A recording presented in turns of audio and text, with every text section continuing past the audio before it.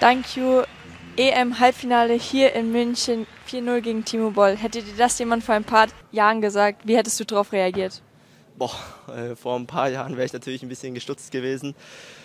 Ich meine, gegen Timo zu gewinnen, egal in welcher Höhe, ist atemberaubend. Das ist für mich auch das erste Mal, dass ich gegen ihn gewonnen habe. Jetzt habe ich auch eine Medaille sicher. Das ist natürlich auch nochmal sehr, sehr schön on top. Aber jetzt kommt das Halbfinale auch bald und ich bin jetzt auch keiner, der sich jetzt auf irgendwelchen Siegen ausruht und versucht, mich jetzt so gut es geht aufs Halbfinale zu konzentrieren.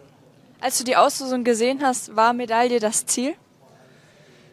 Ich meine, ich bin hier an vier gesetzt. Irgendwo weiß ich auch, dass ich weit kommen kann. Natürlich weiß ich aber auch, dass wenn es nicht gut läuft, dass ich in den ersten Runden schon schnell rausfliegen kann.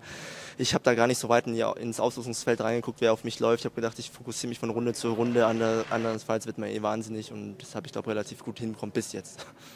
Ja, du hast die Medaille zum Glück schon sicher. Äh, Matthias Falk und Truls Mörregard kämpfen jetzt darum. Gibt es da noch einen kleinen Ausblick, wen du lieber hättest?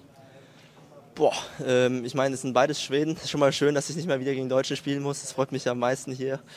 Aber ich habe da gar keinen Favoriten. Ich meine, ich glaube, die sind beide auf einem ähnlichen Level, sind beide sehr, sehr gut drauf. Ähm, beide Vize-Weltmeister, also da wartet eine große Hürde auf mich. Deswegen kann ich mich, äh, ja, kann ich mir da keinen aussuchen. Ja, dann endlich nach zwei Spielen wird äh, heute noch das Publikum, das Münchner Publikum hinter dir stehen. Viel Spaß dabei. Timo, Viertelfinale gegen Dankyu, einen sehr, sehr starken Dankyu. Was sagst du selber zu dem Spiel?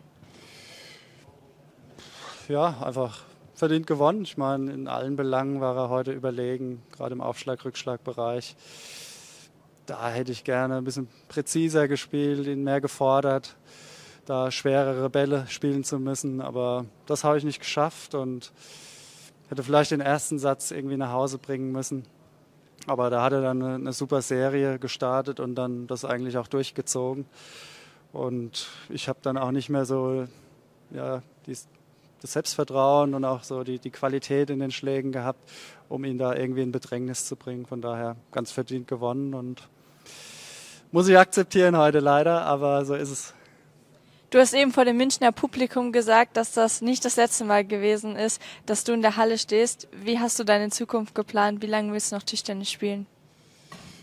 Ja, ich habe ja bei Borussia alleine schon einen Vertrag bis 2025 und da habe ich auch vor, den zu erfüllen. Ich meine, mir macht es immer noch viel Spaß zu spielen. Die Spiele heute, wenn sie so deutlich vor allem ausgehen, die tun weh, auch wenn es eine tolle Kulisse war. Aber ja, wie gesagt, mir macht einfach auch diese tägliche Routine, das, das Training gegen die Jungs Spaß. Und ähm, ja, das, das Turnier war eigentlich bis zu diesem Zeitpunkt eigentlich ganz cool.